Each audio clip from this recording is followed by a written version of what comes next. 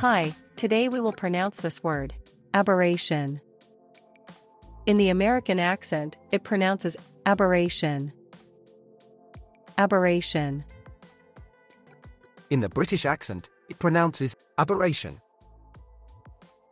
Aberration. In the Indian accent, it pronounces aberration. Aberration.